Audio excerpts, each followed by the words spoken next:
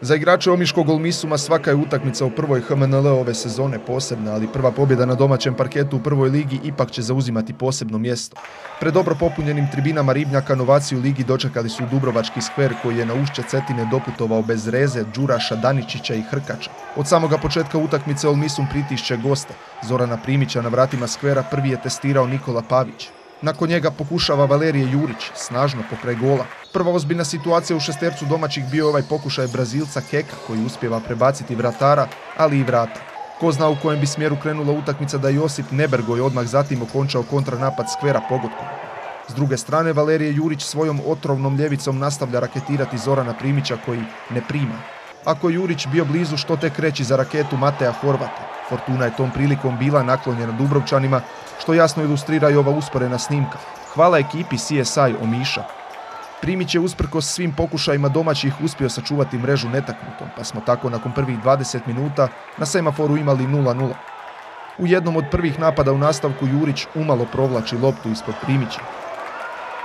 Ono što je umalo uspio napraviti Jurić, u 22. minuti radi Mio Mišer da i napokon odključava bravu gostiju za 1-0 od Misuma. Četiri minute nakon odlazi Olmisum na 2-0. Akciju potpisuje Matej Horvat efektnim proigravanjem petom u prostor, a Valerije Jurić iz drugog pokušaja dolazi do pogodka.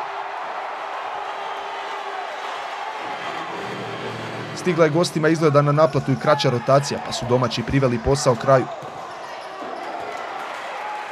Probali su Dubrovčani vađenjem golmana, što im se u 35. minuti brzo obilo o glavu.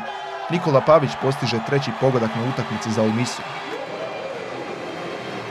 U istoj toj minuti uslijedio i četvrti pogodak, drugi na utakmici za Valerija Jurića, kojim je okončan brz i efektan napad domaći.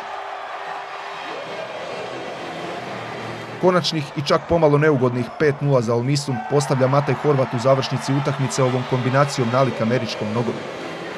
Trećom pobjedom u četiri utakmice omiški gusari plove vrhom tablice i prva su pratnja vodećim Makaran. Skver će se za iduće kolo konsolidirati i očekujemo ih u pravom izdanju za ogled sa Splitom na domaćem parketu. Vrlo teška utakmica, iako mislim da smo odigrali do sad našu najbolju utakmicu. Prvo polovreme nismo uspjeli zabiti gol, ali drugo polovreme kad smo zabili otvorilo se i naplatili smo sve promašaje u dosadnješnjem dijelu ovaj, sezone. Ja bi se zahvali publici koja nas je nosila, pripoznali su prvo polovreme da, da da smo bolji, da smo kvalitetniji i uz njihovu pomoć smo došli do tri boda. Mi smo došli danas sa skraćenom rotacijom, e, nismo odgovorili na njihove napade, nismo igrali dobar pressing, nismo apsolutno ništa nam nije išlo za, za nogom. Evo, na kraju e, potpuno zaslužena pobjeda Olmisu.